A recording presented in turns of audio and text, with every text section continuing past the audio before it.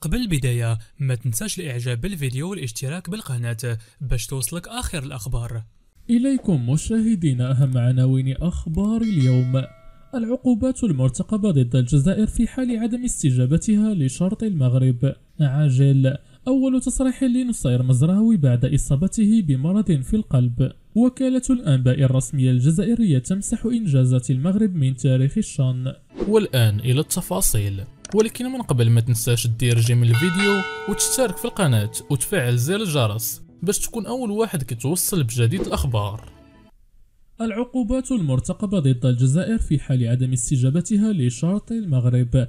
كشف التقارير الإعلامي أنه في حال لم تستجب الجزائر لشرط المغرب بالسماح لطائرة المنتخب الوطني بالسفر مباشرة من مطار الرباط صلى إلى قسنطينة ستتعرض الجارة الشرقية إلى أربع عقوبات من الاتحاد الإفريقي لكرة القدم. وأوضحت صحيفة الأحداث المغربية أن الكاف ستقوم بتغريم الجزائر 400 ألف دولار لرفضها الاستجابة لشروط الجامعة الملكية المغربية لكرة القدم القاضية بالسماح للمنتخب الوطني بالسفر مباشرة إلى قسنطينة للمشاركة بكأس إفريقيا للمحليين. إلى جانب حرمانها من الترشح لاستضافة أي مسابقة تنظمها الكونفدرالية الإفريقية لخمس سنوات.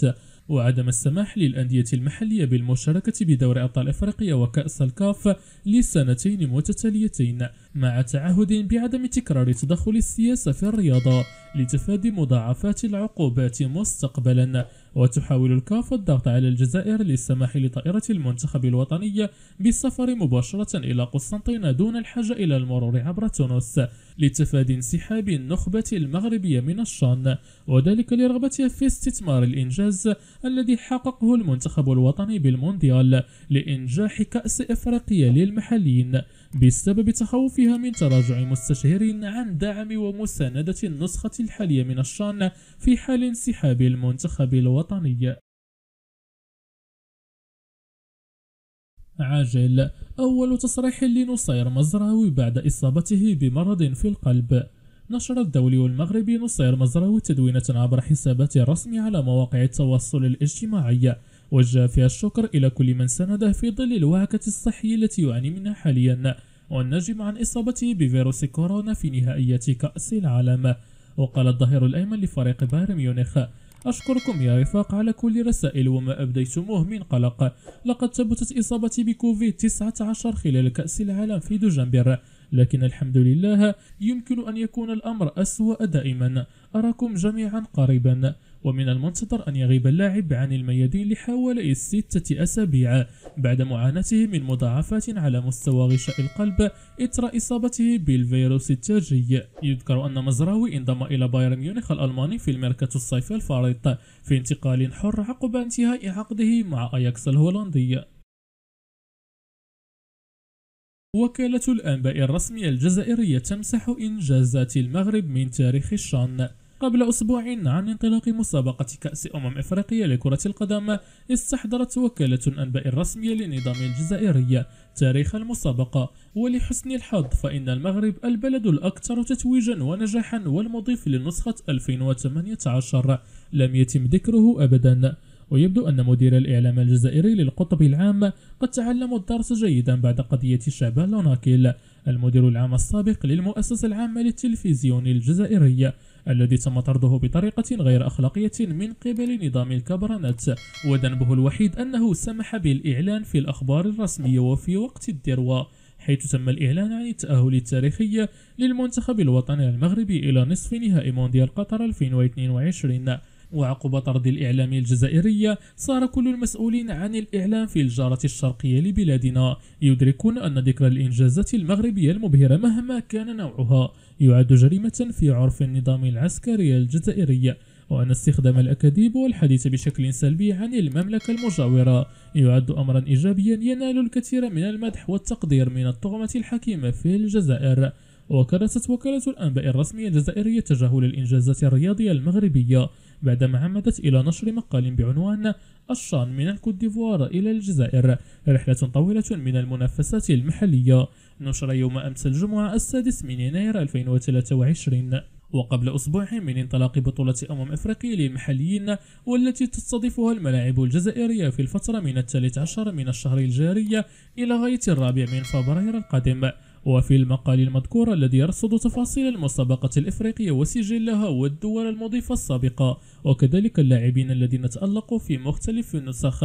لم يرد ذكر لأسماء المغرب وأسود الأطلس والكعب والرحيمية ورغم أن بلادنا نظمت وفازت بنسخة 2018 قبل أن تضيف لقبا جديدا إلى رقمها القياسي بفوزها بالنسخة الأخيرة في الكاميرون. وهكذا فإن المغرب يشترك مع جمهورية الكونغو الديمقراطية كأكثر بلدين تتويجا في تاريخ المسابقة القارية المذكورة متقدمين على تونس وليبيا. وخصصت وكالة الأنباء الجزائرية حيزا كبيرا للاعبين الذين تركوا بصماتهم في تاريخ الشان. وكتبت الجزائري هلال السوداني والتونسي يوسف المساكني والمالي إيف بيسوما والإيفواري ياو سيرج نيغيسان تألقوا جميعهم في تاريخ المسابقة وتجاهلت المهاجم أيوب الكعبي أفضل هداف في تاريخ المسابقة ب 12 هدفا وسفيان رحيمي أفضل لاعب وأفضل هداف في النسخة الكاميرون عام 2020 أو حتى يحيى عطية الله الذي تألق في بطولة الشان قبل المشاركة في ملحمة الأسود في مونديال قطر. هذا الإغفال ليس مفاجئا على الإطلاق عندما نعلم أن المجلس العسكري تجاهل الإنجاز التاريخي لأبناء والد رجراجي في المونديال علما أن نظام الكبرانات يتولى الرئاسة الدورية لجامعة الدول العربية وكان من المفترض أن يكون أول بلد يهنئ جاره العربي والإفريقي. الإعلان عن أن المغرب أصبح أول دولة إفريقية وعربية تصعد إلى دور الأربعة في كأس العالم كان بالتأكيد كابوسا للطغمة الحاكمة في الجزائر التي لم تتردد في التضحية برئيس التلفزيون الرسمي لذا فإن تذكيرها بتفوق الأسود في المنافسة التي ستستضيفها بلادها في أقل من أسبوع قد يتسبب في حدوث زلزال في وكالة الأنباء الجزائرية. اليوم ليس هناك شك في أن وسائل الإعلام الجزائرية الرسمية قد تجاوزت تلك الموجودة في كوريا الشمالية في فظاعتها حتى في المجال الرياضي. وصار اسم المغرب محظورا في وسائل الإعلام الجزائرية ما أدى إلى ظهور قصص سيريالية مبتورة. قبل البداية ما تنساش الإعجاب بالفيديو والاشتراك بالقناة باش توصلك آخر الأخبار. إليكم مشاهدينا أهم عناوين أخبار اليوم. العقوبات المرتقبة ضد الجزائر في حال عدم استجابتها لشرط المغرب. عاجل. أول تصريح لنصير مزراوي بعد إصابته بمرض في القلب. وكالة الأنباء الرسمية الجزائرية تمسح إنجازات المغرب من تاريخ الشان. والآن إلى التفاصيل. ولكن من قبل ما تنساش دير جيم الفيديو وتشترك في القناة وتفعل زر الجرس. باش تكون أول واحد كتوصل بجديد الأخبار. قبل البداية ما تنساش الإعجاب بالفيديو والاشتراك بالقناة باش توصلك آخر الأخبار.